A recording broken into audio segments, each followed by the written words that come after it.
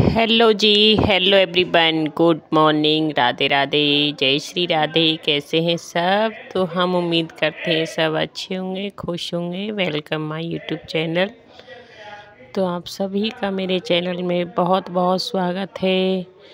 और मेरे चैनल पर नए हैं तो प्लीज़ वीडियो को सब्सक्राइब ज़रूर कर लीजिएगा और वीडियो को पूरा देखिएगा और चैनल को सब्सक्राइब ज़रूर कर लीजिएगा। कमेंट करके जय माता दी ज़रूर लिखिएगा, जय श्री राधे लिखिएगा। तो जी, ये सुबह में मैं बना रही हूँ हलवा और विधि मेरे पास बैठकर अपना ट्यूशन का वर्क कर रही है।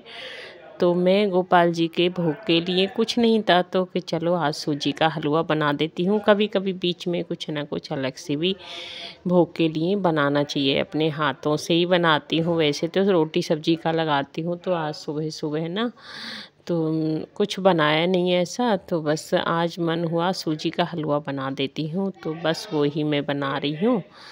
तो मैंने घी डाल दिया है।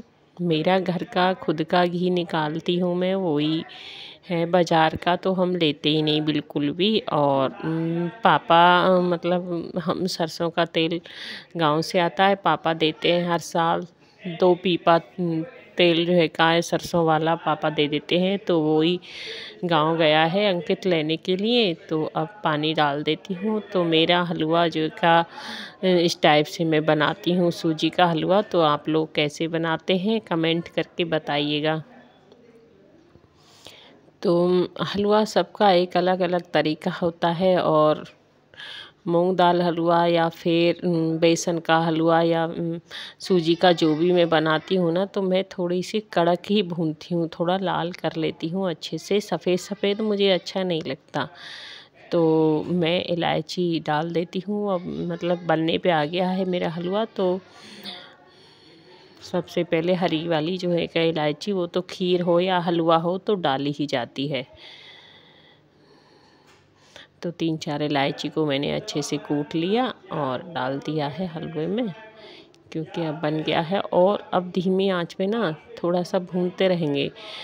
हमारा जब हलवा बनने को आ जाता है, जितना हम उसको कड़क भूनते हैं ना तो वो जो हम घी डाला है, वो घी मतलब हलवा छोड़ने लग जाता है। किसी भी चीज़ का आप हलवा बनाओ तो ये एकदम मतलब परफेक्ट अंदाज़ा है कि हाँ हलवा बन चुका है कि अब घी छोड़ने लगा है। तो बस अब घी छोड़ने लगा था हलवा तो ड्राई फ्रूट मैंने डाला है काजू और बादाम। किशमिश नहीं खाते हैं बच्चे और गोला मुझे भी पसंद नहीं है तो मैं नहीं डालती हूँ। बस मैंने काजू को और बादाम को ही थोड़ा सा कूट के डाल दिया है। तो देख लीजिए, हलवा रेडी हो गया है। तो बताइएगा आप, मुझे तो देखने में बहुत अच्छा लग रहा है और पहले अपने कान्हा जी को लगा देते हैं भोग और जो भी बनता है तो भगवान जी के कृपा से बनता है और बस सबसे पहले कान्हा जी को और ये दूध मैं उठा लेती हूँ। दूध और मिश्री का सुबह जब पूजा की थी तब भोग लगाया था। और इधर बन रहा है घी, क्योंकि मलाई हो रही थी कई दिन की तो फिर चलाकर और तीन, दो बार की मैंने जो मक्खन निकाला था, वो इकट्ठा हो रहा था। मैं डायरेक्ट मलाई से घी नहीं निकालती हूँ। मलाई को मतलब गर्म करके जमा के और फिर सुबह में चला के मक्खन निकाल के तब मैं घी बनाती हूँ। आप लोग हमेशा याद रखना, डायरेक्ट मतलब खाली मलाई से सीधा निकालते हैं ना घी तो उसमें इतना अच्छा टेस्ट नहीं आता है। और बस अब बना लेते हैं। चाय वाय बनाएँगे तो सबसे पहले अब मलाई को मैं, देखो, फ्रीज में रखने के बाद ना इतनी अच्छी मलाई आती है, इतनी मोटी। तो आजकल दूध आ रहा है थोड़ा ज़्यादा ही तो ये तीन किलो दूध था और पानी बहुत ज़्यादा नहीं डालते हैं, क्योंकि पानी ज़्यादा डालेंगे तो मलाई हमारी अच्छे से नहीं आएगी। तो थोड़ा कम पानी डाल के और थोड़ा देर तक दूध उबाला जाए तो वाकई में मलाई बहुत अच्छी आती है। तो देखो कम से कम इसमें मेरी पावर से ढाई सौ ग्राम मलाई निकल जाती है एक ही बार में और बस कटोरा भर गया था। तो ये मैं देखा रही थी क्योंकि फूल खिल चुके हैं तो बहुत ही अच्छा लग रहा था। क्योंकि सर्दियों में सारे पेड़ सूख गए और गर्मियों में सूख जाएँगे, पता ना, इतने अच्छे से मतलब मैं पौधों को सींचती हूँ और अच्छे से देखभाल करती हूँ।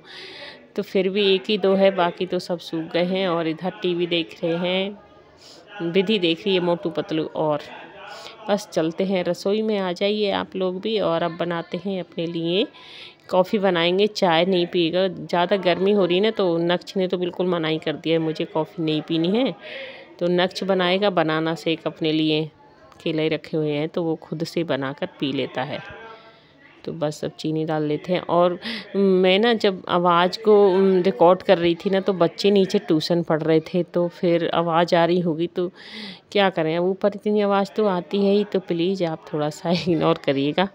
और आ जाइए आप हमारे साथ कॉफ़ी पिएगा, बैठ के पियेंगे सारे तो बस मुझे ना अकेले अच्छा नहीं लगता है, शाम को या सुबह भी। मतलब किसी के साथ में बैठ कर के ना मुझे अच्छा लगता है पीना, चाय, कॉफ़ी या फिर खाना खाएँगे तब भी हम अकेले। तो बस अभी विधि के पापा हैं, वो आज लेट जाएँगे और ये ब्लॉक है मंडे का, एक तारीख का, एक अप्रैल का। तो एक मीठा वाला बिस्कुट लेके आई, विधि एक नमकीन वाला लेकर आई और थोड़ी नमकीन भी रखी है।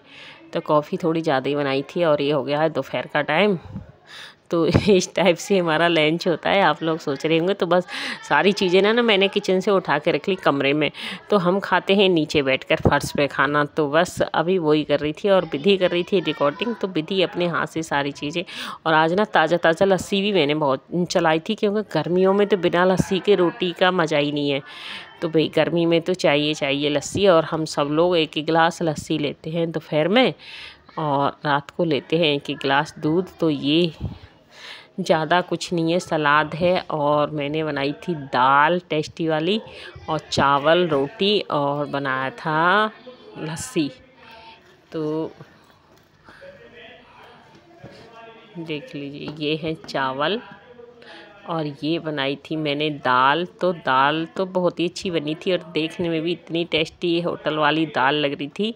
और सलाद वगैरह काट लिया, लस्सी तो आ जाइए आप लोग भी। इस टाइप से, इसमें है चटनी। इस टाइप से हमारा दोपहर का खाना होता है। इसमें है रोटी। तो बस यही था दोस्तों, दोपहर तक का जो ब्लॉग था मेरा। तो मिलते हैं अगली वीडियो में। तब तक के लिए राधे राधे जय श्री राधे, जय श्री कृष्णा। Bye bye